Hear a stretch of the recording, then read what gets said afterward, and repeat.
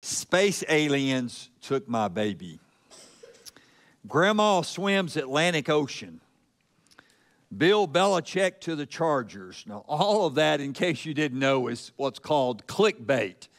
It's something, something that comes across your screen and they just want you to click on it. It's really no truth to it. It's just trying to get your attention and get you to get sucked into reading something. Sadly enough, many people think if it's on the internet, it's real. Oh, you didn't? It's not. Okay. Sorry. I just Santa Claus and internet, they're kind of the same level, all right? Okay. At least Santa Claus based on a true character, okay?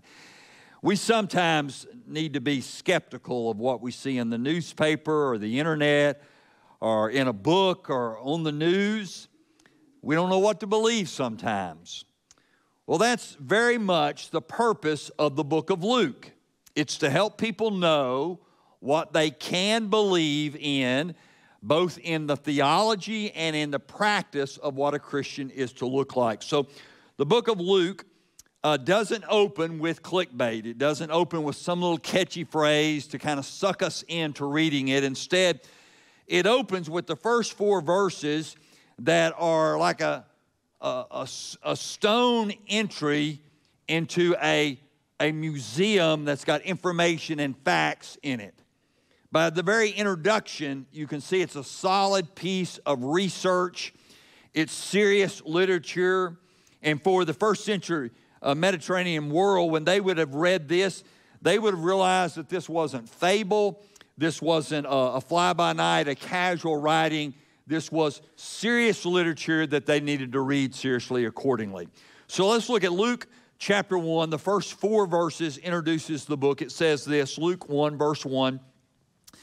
Many have undertaken to compile a narrative about the events that have been fulfilled among us, just as the original eyewitnesses and servants of the word handed them down to us.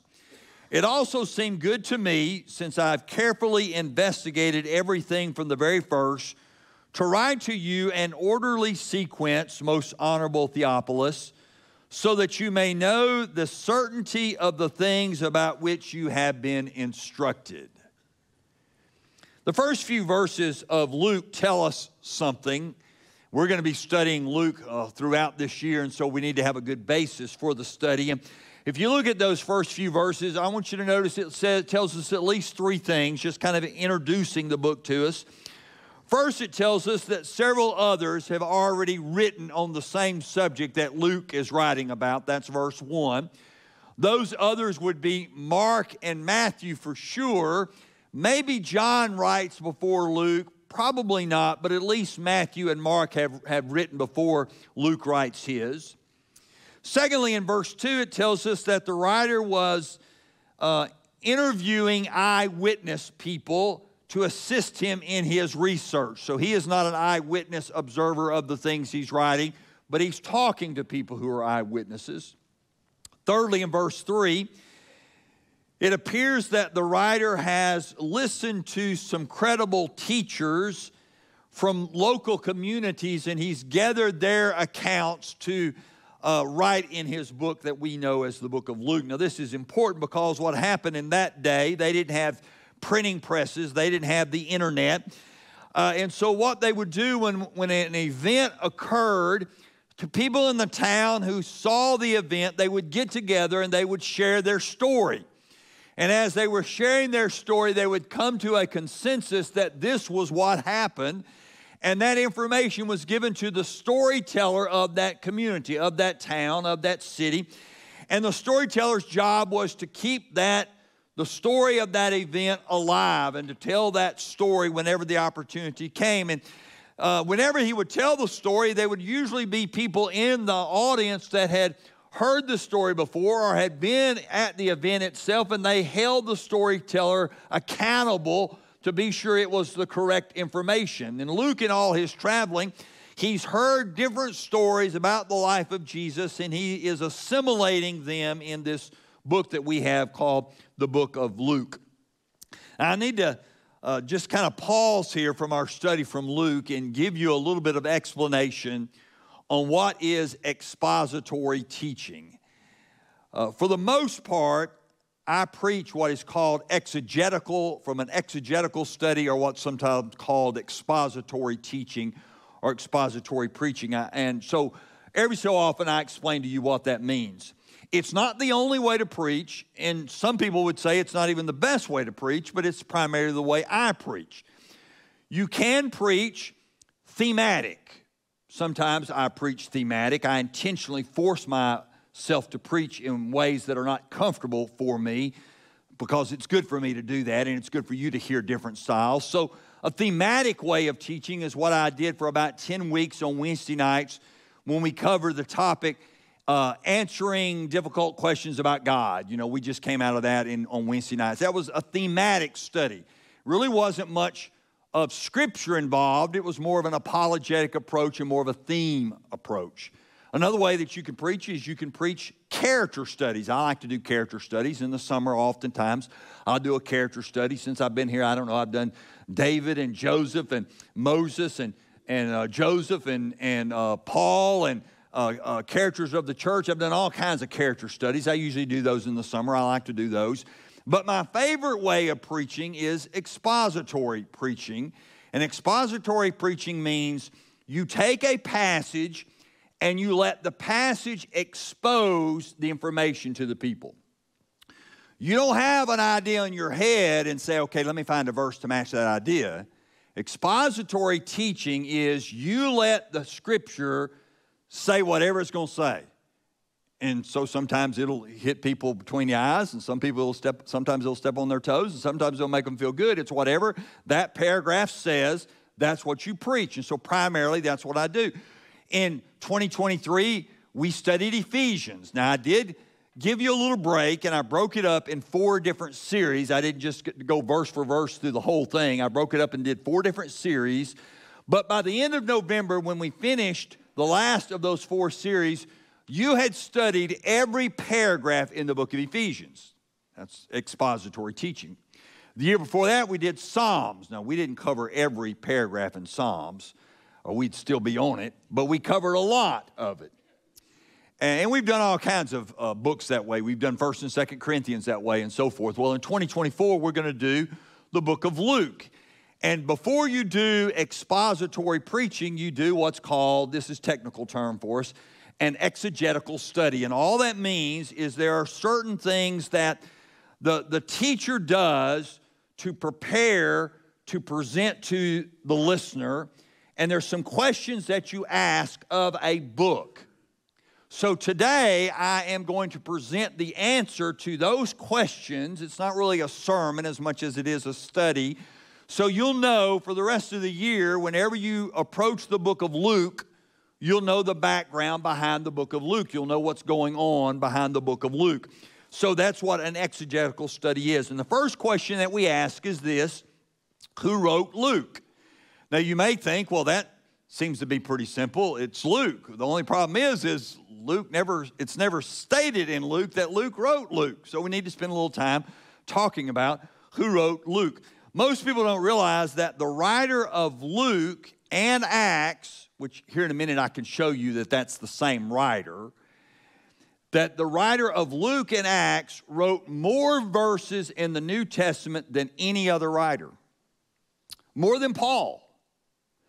Actual verses in Luke and Acts, written by the same person, uh, there are tw- uh, 2,157 verses between those two books while Paul wrote 13 books in our Bible, he has 2,032 verses, so about 115 verses less than Luke. John, who wrote the Gospel of John, Revelation, 1st, 2nd, 3rd John, only has 1,416 verses. So Luke and Acts have a lot, they cover a lot of material in our Bible. So we, we need to spend some time on, on those books. Also, few people realize that Luke is not directly named as the writer of Luke or Acts, neither one. He's, he's not directly named. But there is some evidence that we need to consider that would show us that Luke probably is a good candidate to be the writer. And so let me give you three, uh, just three things to think of here that, to help us see that Luke might be the writer. First, Luke and Acts were written by the same person and that's based on the introductions of the two books. Now, I just read the introduction to the book of Luke. Now, let's just go over to Acts. Uh, you're handy in your Bible on a Wednesday night, so just go over to Acts chapter 1, and let me just read the introduction to Acts chapter 1. Remember in Luke chapter 1, he's writing to Theophilus, and he's he's gaining information from eyewitnesses' accounts, he's gaining information from other writings, he's interviewed these people from, from cities and so forth, and he's writing about the life of Jesus. Okay, that's in Luke 1, verses 1 through 4. Now, Acts chapter 1 says this I wrote the first narrative, Theophilus, about all that Jesus began to do and teach until the day he was taken up after he was given instructions through the Holy Spirit to the apostles uh, that he had chosen. So, this, he's writing to the same person as mentioned in Luke, and he's referring to his first narrative. And his first narrative is about the life of Jesus, which pretty well describes Luke. So, there's very little argument in scholarly circles that Luke and Acts are not written by the same person. It's obvious that they are the same person writing the book. In fact, it's part one and part two. Uh, so that's the first point to look at. Second thing to look at on considering Luke as the writer whoever wrote Luke is not an eyewitness to the events he writes about in Luke, but is an eyewitness to at least some of the things in the book of Acts. And that'll become evident in, in, in the next point. Thirdly, the author of both Luke and Acts uh, especially uh, Acts, was someone that traveled with Paul. It was someone who was with some of the missionary journeys that Paul went on. We know this because of what's called the we statements, W E, the we statements. Let me just show you some. You're already in, in Acts. Let me just show you a couple of them real quick. There are several, but I just want to uh, uh, show a couple of them. Acts 16. Look at Acts 16. Let me show you what I'm talking about. Acts 16, verse 10.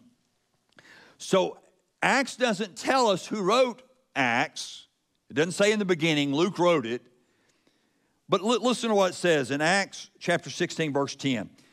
After he had seen the vision, we, so whoever wrote Acts is, is on this trip with Paul, we immediately made efforts to go to Macedonia and, and, and so forth. Uh, another example of it is chapter 20. Chapter 20, verses 5 and 6. Chapter 20, verse 5 and 6 says, These men went on ahead and waited for us in Troas, but we sailed away from Philippi after the festival of unleavened bread. In five days, we reached them at Troas. We, were, we, we spent seven days with them. So, again, there's these we statements that's throughout the book of Acts so whoever uh, wrote Acts is on some of these missionary trips with Paul. Now, with that in mind, we can go through Paul's studies, his letters, and we can go through Acts, and we can see who Paul says was with him on some of these trips. And if you do that, what you find, the very first person you'll find is that Mark was with Paul on some of his trips. So you could say, well, maybe Mark is the writer of the book of Luke. The only problem with that is Mark has already written a biography about Jesus, and it's, it's agreed upon among scholars that Mark is the first biography of Jesus. He writes it first.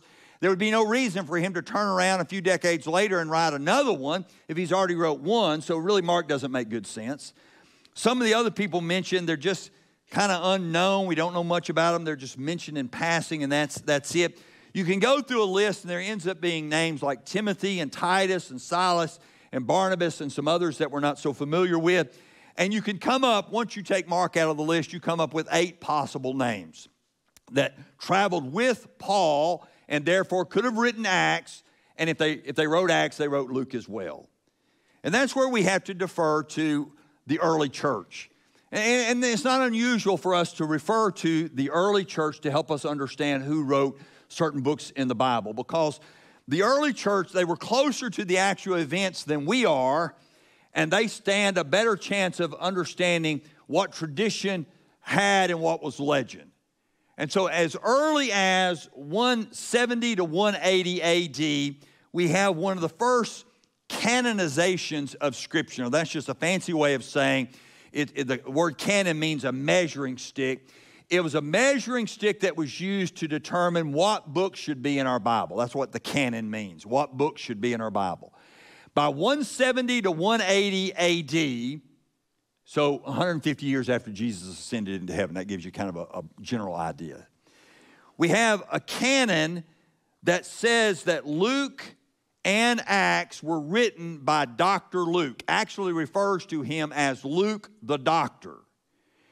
And so, as early as 150 years of Jesus' ascension into heaven, and within about 120 years of when Luke was probably written, we have the documentation that it was written by Luke the physician. And so, most scholars have not argued that since then, for the exception of the Jesus Seminar, and that's a whole other study in and of itself. The Jesus Seminar was a, was a setup quack to begin with, it, there's no legitimacy to it at all. So, what do we know about Luke? Well, it appears about the character Luke that he was not a Jew.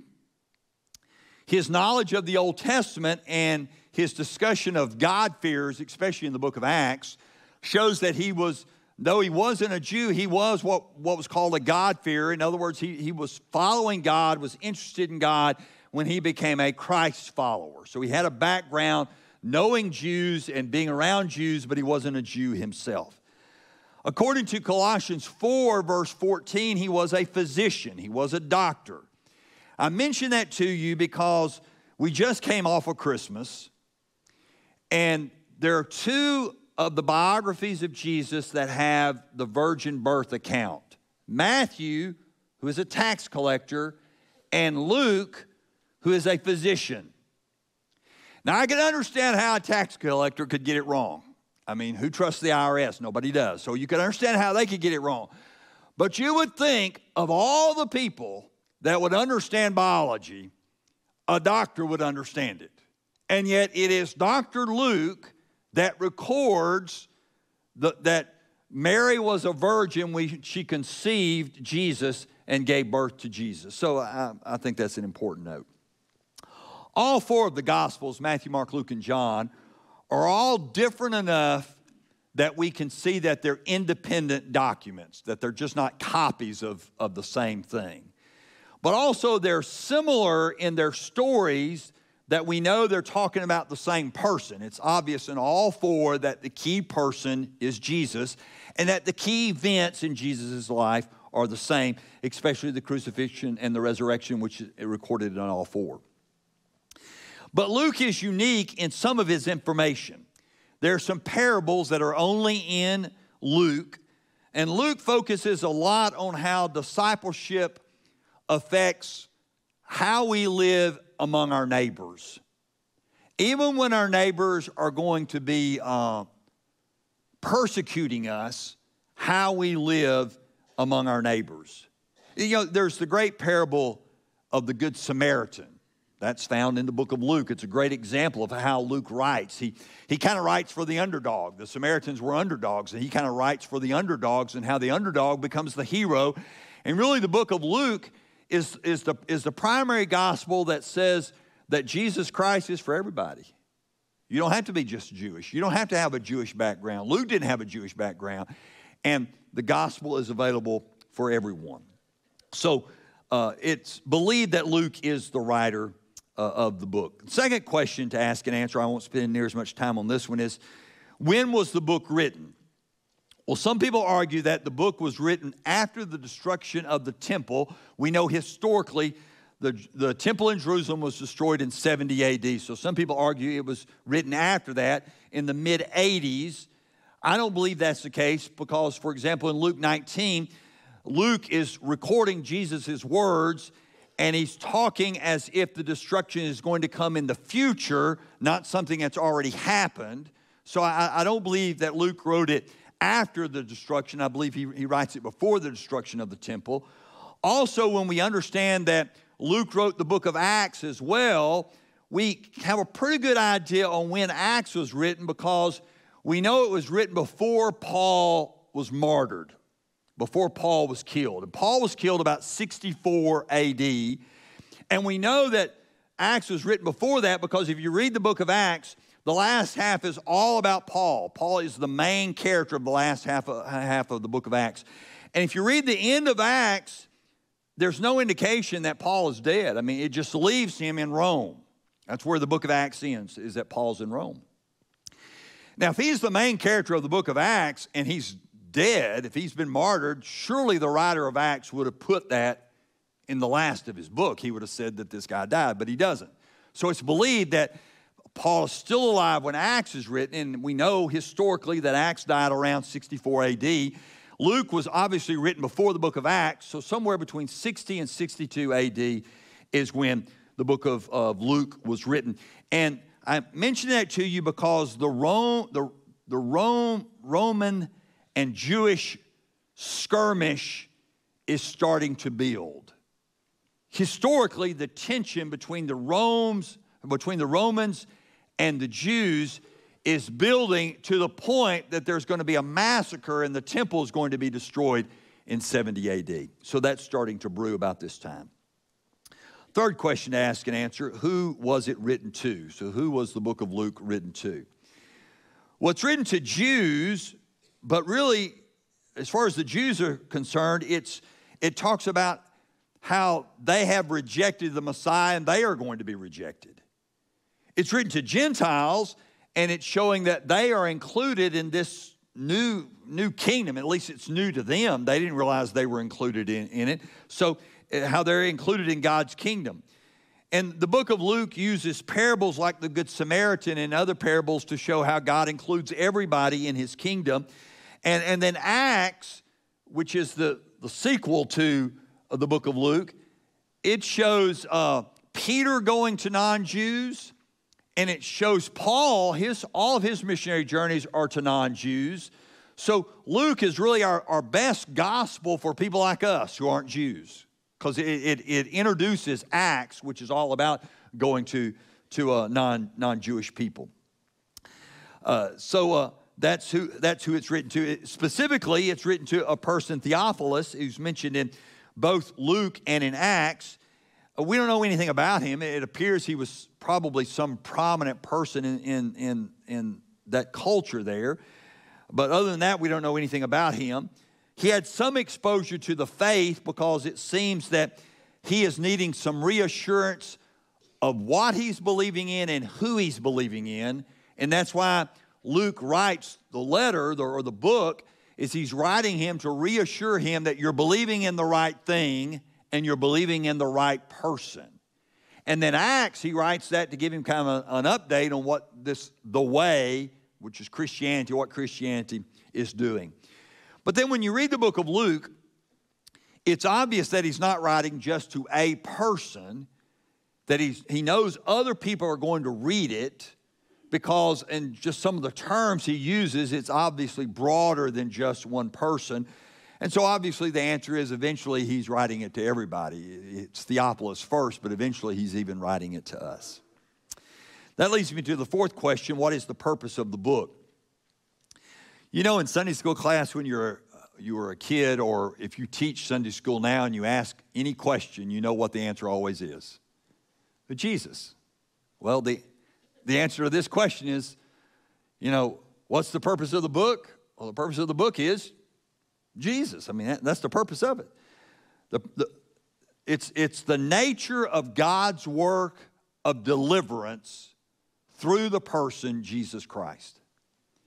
And that you can trust the basis of that information that it's reliable. So that's why he starts off in Luke 1, verses 1 through 4, and he gives this background of where he's getting this information from and how he's writing in a logical sequence. He's writing a dependable bit of information so you can know who you're believing in and that it's trustworthy. So it's, it's, it's about Jesus. Uh, Theophilus was probably a, a non Jew, and he probably wondered how in the world did he get caught up in a religion that is primarily, at that time, it was primarily among Jews? And that its founder is a Jew.